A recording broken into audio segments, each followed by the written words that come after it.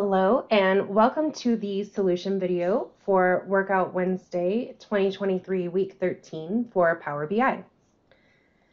This week we made a connected scatter plot using an image as the marker. There was an original uh, visual made in R that inspired this. So I did my own twist using Deneb in Power BI. We kept the requirements simple this week. Just create a connected scatter plot with year on the x-axis and date within the year on the y-axis. And then use any image of your choice to mark each year in the plot. I chose to use a simple SVG path to create my image, and you can do that as well, or you can use a an image from a URL. That part's up to you. And then use background image on the page. The one that I got came from Wikipedia, and I cropped the image and uh, flipped it to make it look like this mountain that we see in the background. The data uh, for this week came from an NOAA study, and we gave you the link directly to the Excel file for you to download.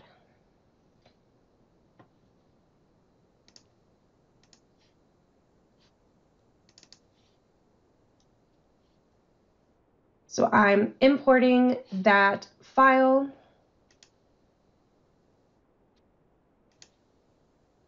There's only one worksheet in there, and it does require a little bit of transformation. So first, I'll change my table name to Cherry Blossoms.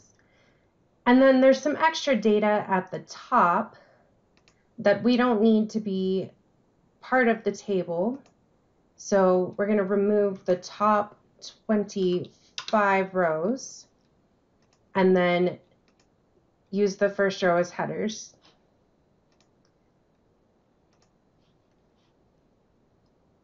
And make sure our data types all look good. We don't need this column 7. There's nothing in it. And I really only want data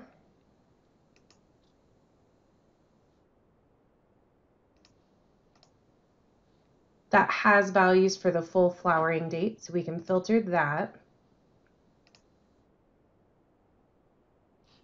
And I'm going to add a custom column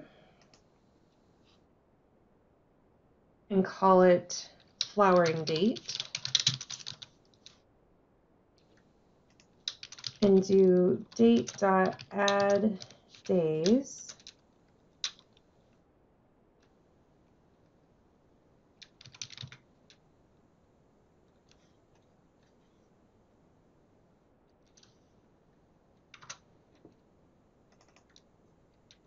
And so we're going to take the year, which is in the AD column,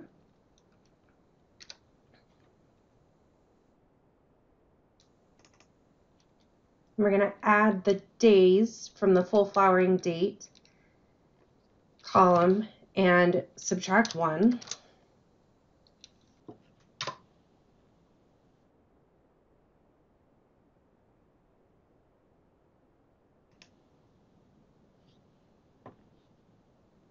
So now we have the date in a date format.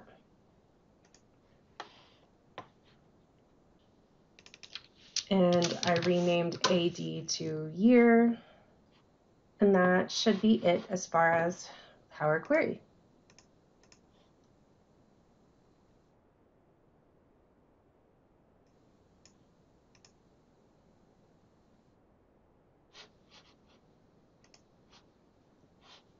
since this one is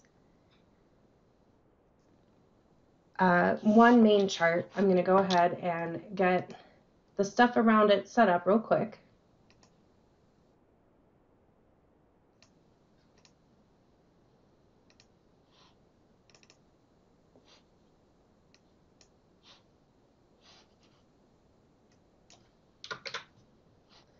And I did have a little bit of transparency in my background because I wanted to make sure that I had good color contrast and that the background didn't overwhelm the chart.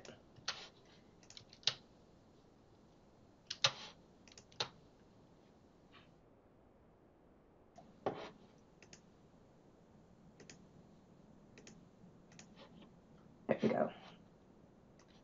Much better.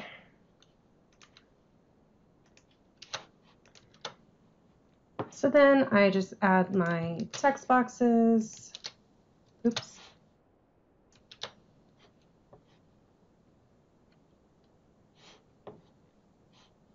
And that gets us set up.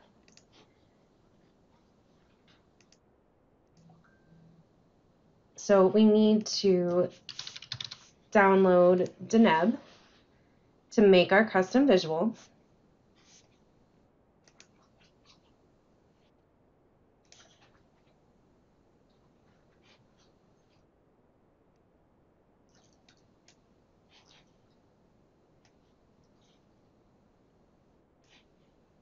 And I'll go ahead and size it up.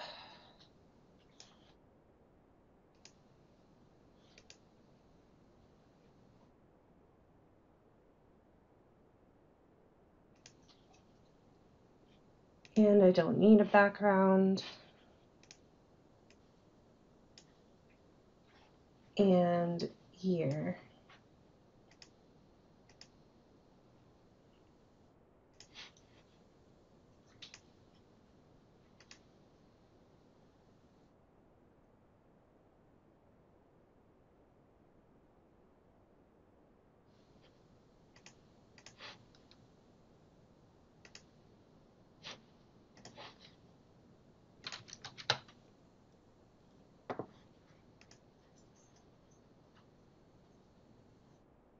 All right. So let's look at this Deneb code. The JSON, the first line is just identifying the data set. And then we start with encoding because I have two marks and they actually share uh, the same axes.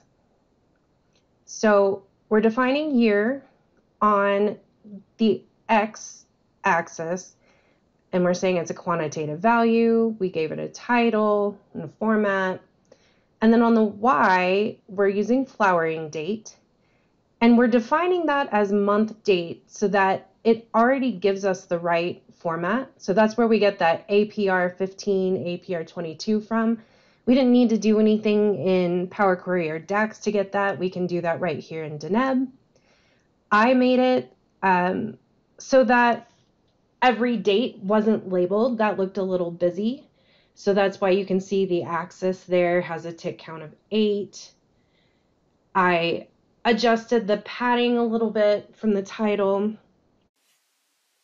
And then I set the order so that the line goes sequentially by year. So then there's two marks. And the first mark is a line. And I set the stroke width to 2 because I wanted it to be fairly dainty. The focus is probably a little more on the flowers, but I did make it a very dark gray color because when it's placed on top of the background that we have on the page, I wanted it to be more prominent than the background to get a good visual hierarchy. And then we have our second mark, which is a point. The point is how we get the flowers on there. So you can have a point that has different predefined shapes, but you can also have a point that uses an SVG path for a shape. So if you had an existing SVG image and you opened it up in a text editor, you would see the path and you would see the parts that I have as my value for the shape. So you take that part out of the SVG definition and put it in here.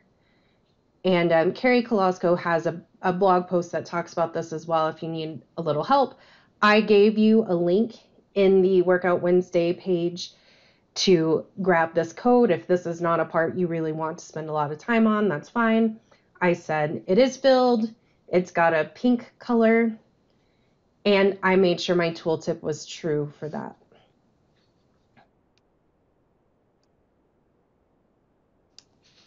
So that is what gives us our connected scatter plot.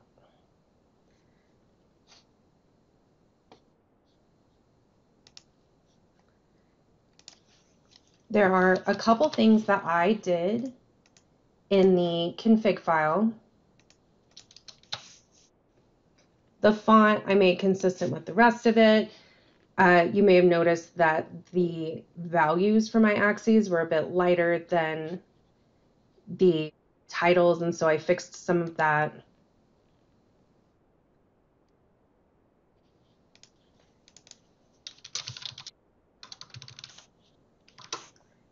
To finish this up, we just give the page uh, title, do our accessibility and usability checks, such as setting tab order. We would do for every um, visual or every report.